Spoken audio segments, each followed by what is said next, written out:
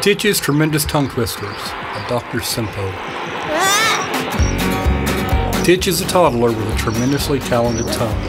He can twist his tongue into all sorts of shapes. This time all the shapes begin with the letter T. Shout out the names when you guess the shapes.